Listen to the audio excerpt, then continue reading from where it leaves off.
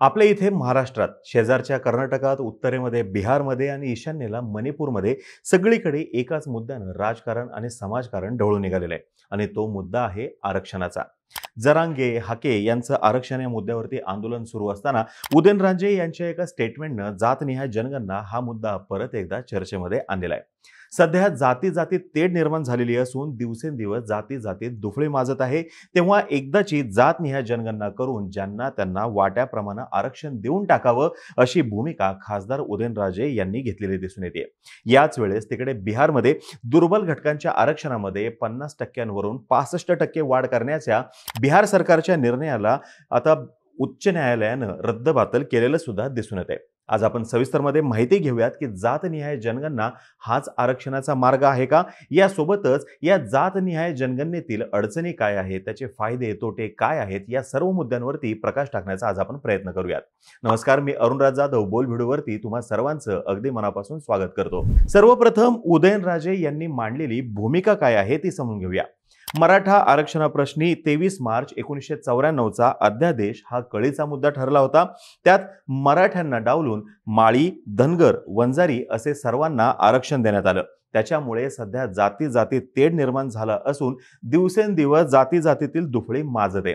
तेव्हा एकदाची जातनिहाय जनगणना करून ज्यांना त्यांना वाट्याप्रमाणे आरक्षण देऊन टाकावं अशी भूमिका उदयनराजे यांनी घेतलेली दिसून येते. जातनिहाय जनगणना हा गेल्या काही वर्षापासून महत्त्वाचा आणि चर्चेतला विषय आहे. दर दहा वर्षांनी आपल्या इथं जनगणना होते पण प्रत्येक जनगणनेमध्ये शेड्यूल कास्ट शेड्यूल ट्राईब यांची एकूण लोकसंख्या किती आहे ते मोजली जाते. ओबीसीच्या जातींची जनगणना होत नाही. कोणत्या जातीचे किती टक्के लोक भारतात राहतात हे जर का कळालं तर आरक्षणाचं गणित सोपं होईल अशी एक धारणा दिसून येते. भारतामध्ये ब्रिटिश कालखंडामध्ये जनगणना सुरू झालेली होती. अठराशे बहात्तरमध्ये जनगणना झाली. एकोणीसशे एकतीस पर्यंत ज्या ज्यावेळी इंग्रजांनी भारतामध्ये जनगणना केली त्यावेळेस त्यांनी आपल्या इथल्या जातींसंदर्भातली महत्वाची नोंदणी केलेली होती.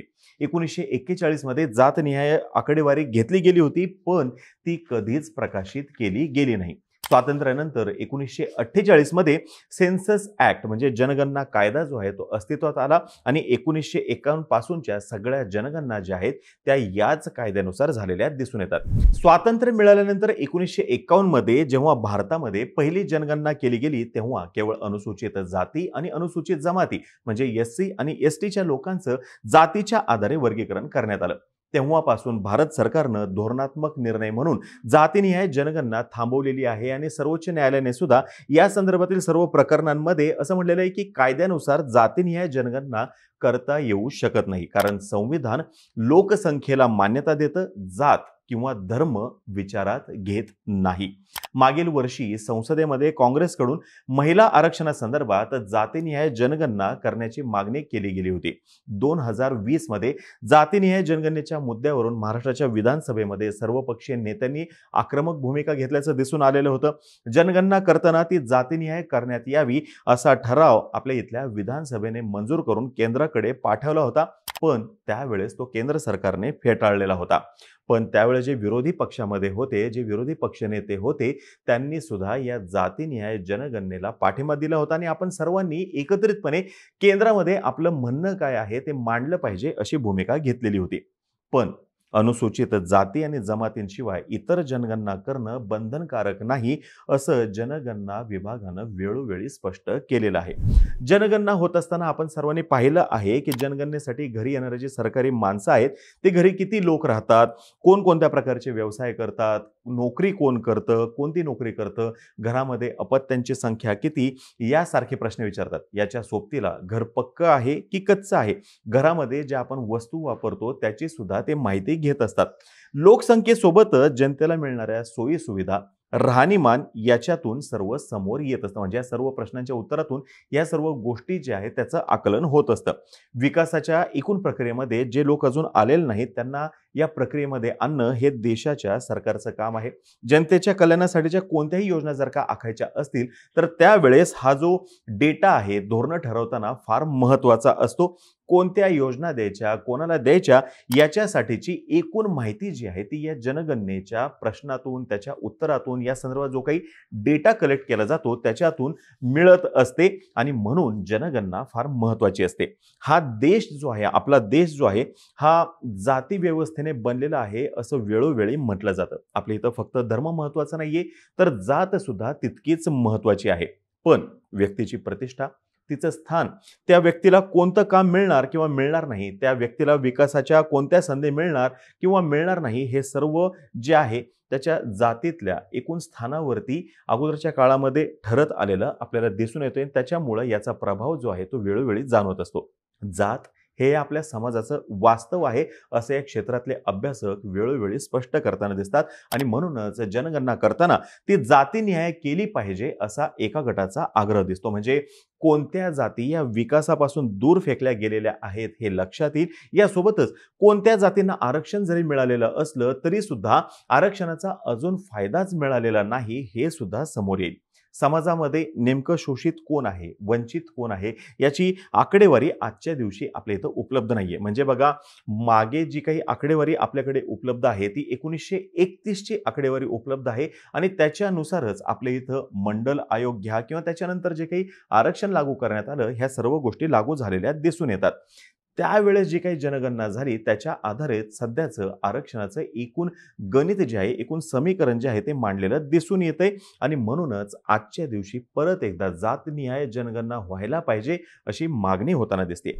नेमक्या कोणत्या जातीकडे कोणत्या समूहाकडे जमिनीची मालकी आहे तिचं प्रमाण किती आहे शेती करणारे नेमके किती आहेत शेतमजुरी करणारे किती आहेत स्थलांतरित झालेले किती आहेत ह्या सगळ्या गोष्टींची माहिती जी आहे ते जनगणनेतून मिळत असते. म्हणून फक्त ओबीसींची जनगणना नाही तर एकूणच जनगणना जातीन्याय केलं जाणं हे देशहिताच्या दृष्टीनं देशाच्या विकासाच्या दृष्टीनं महत्वाचं आहे असं म्हटलं जातं. जर का ते तसं झालं नाही तर आजच्या दिवशी जी आपल्या इथं विषमता दिसतीये ती विषमता अधिक वाढत जाईल दारिद्र्याचं प्रमाण जे आहे ते वाढत जाईल.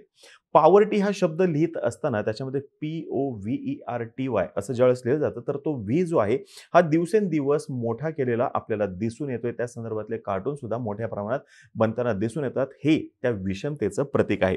या सर्व मुद्द्यांचा जर का विचार केला तर जातीनिहाय जनगणना हा मुद्दा सातत्याने चर्चेमध्ये आलेला दिसून येतं. असं म्हणतात की एकोणीसशे ऐंशीच्या दशकामध्ये ज्यावेळेस प्रादेशिक पक्षांचा उदय झाला तेव्हापासून आपल्या इथली परिस्थिती अधिक झपाट्याने बदललेली आहे. जातीचं राजकारण जे आहे ते वेगानं वाढलेलं आहे. दोन हजार अकरामध्ये सामाजिक आणि आर्थिक जातीनिहाय जनगणना करण्यात आली होती. पण त्या संदर्भातली माहिती जी आहे ती उघड करण्यात आली नाही. दोन हजार एकवीसमध्ये सर्वोच्च न्यायालयामध्ये दाखल करण्यात आलेल्या एका वेगळ्या प्रकरणातील प्रतिज्ञापत्रात केंद्र सरकारनं म्हटलं होतं की दोन हजार अकरामध्ये करण्यात आलेल्या जातीनिहाय जनगणनेमध्ये सामाजिक आर्थिक आणि जातीनिहाय जनगणनेमध्ये अनेक जे आहेत ते ड्रॉबॅक्स होते त्याच्यामध्ये खूप साऱ्या चुका होत्या उणेवा होत्या आणि जे काही माहिती कलेक्ट करण्यात आलेली होती त्याच्यामधली ती माहिती ही निरुपयोगी होती. मागे आपण आपल्या एका व्हिडिओमध्ये सांगितलं होतं की एकोणीसशे एकतीस साली जी पहिली जनगणना झाली त्यावेळेस त्या जनगण जनगणनेमध्ये भारतातील जातींची संख्या ही चार हजार एकशे सत्तेचाळीस होती. पण दोन हजार अकरा मध्ये जी जातीनिहाय जनगणना करण्यात आली त्याच्यानुसार जातींची संख्या ही सेहेचाळीस लाखाहून अधिक नोंदवली गेलेली आहे. महाराष्ट्रातील अनुसूचित जाती आणि जमाती इतर मागासवर्गीय गटामध्ये मोडणाऱ्या जातींची संख्या चारशे चौऱ्याण्णव होती जी दोन हजार अकरा मध्ये करण्यात आलेल्या जनगणनेमध्ये चार लाख अठ्ठावीस हजार सहाशे सत्याहत्तर इतकी नोंदवण्यात आलेली आणि ही आकडेवारी उपलब्ध आहे. आणि मुळामध्ये हाच इश्यू आहे जातीनिहाय जनगणना जी आहे जी केली गेली त्याची आकडेवारी प्रकाशित होत नाही आणि आता जातीनिहाय जनगणना केली जात नाहीये. आजच्या दिवशी जर का आपण बघितलं तर ही जातनिहाय जनगणना जी आहे ती राजकारणामध्ये अडकलेली आहे. कारण की एका गटाला असं वाटतं की त्यांचा फायदा होईल दुसऱ्या गटाला असं वाटतं की त्यांचं नुकसान होईल. आणि असा सुद्धा गट आहे की ज्याला नेमकं लक्षातच येत नाहीये की ह्याच्यातून आपला नेमका फायदा होईल की तोटा होईल. म्हणजे बघा केंद्रामध्ये कोणतेही सरकारी येऊ द्या. ज्या वेळेस त्यांनी आधी आंदोलन केलेलं असेल ह्या मुद्द्यावरती सत्ता आल्यानंतर ते शांत राहतात. जेव्हा ते विरोधी पक्षात असतात तेव्हा जातनिहाय जनगणनेच्या बाजूने बोलताना दिसतात. अशी जर का जनगणना झाली तर या जनगणनेतून मिळालेल्या आकडेवारीच्या आधारावर समाजातील ज्या गटाला कल्याणकारी योजनांची जास्त गरज आहे त्यांच्यापर्यंत त्या योजना पोचत येऊ शकतात. यासोबतच असेही गट आहेत की ज्यांना आरक्षण मिळालेलं आहे पण त्या आरक्षणाचा लाभ मिळालेला नाही. अशा जाती मोठ्या प्रमाणात आहेत. आणि म्हणूनच मागे चर्चा चालू होती की हे जे काही आरक्षण देण्यात आलेलं आहे त्या आरक्षणामध्ये सुद्धा सब कॅटेगरी कराव्यात म्हणून. आणि त्याच्यामुळे जातनिहाय जनगणना जी आहे याच्यातून फायदा होईल की तोटा होईल हे सांगता येत नाही. विषमता जर का समोर आली तर ही आकडेवारी समोर येणं हे आपल्या एकूणच समाजासाठी आपल्या एकूणच देशासाठी चांगलं असू शकतं. एका बाजूने जर का विचार केला तर याच्यामुळे समस्या वाढू शकतात. राजकीय असंतोष जो आहे तो सुद्धा वाढू शकतो. पण जर का दुसरी बाजू बघितली लॉंग टर्म जर का याचे बेनिफिट्स बघितले तर भारतीय समाजाच्या दृष्टीने ते महत्वाचं सुद्धा ठरू शकतं. जेवढ्या लवकर या विषयाला आपल्या इथं सामोरं जाईल तितक्या लवकर ते जास्तीत जास्त फायद्याचं होईल असं या क्षेत्रातील अभ्यास अभ्यासक सांगतात.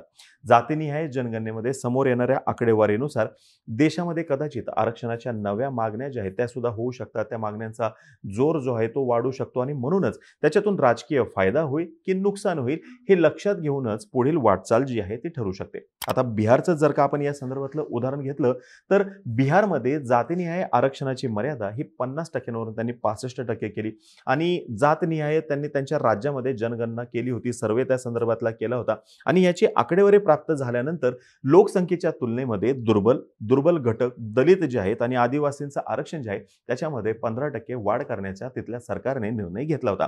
म्हणजे बघा त्यांना असं लक्षात आलं की ओबीसींची लोकसंख्या जी आहे ती सत्तावीस पॉईंट शून्य तीन टक्के आहे. अतिमागासांची संख्या छत्तीस पॉईंट शून्य एक टक्के आहे.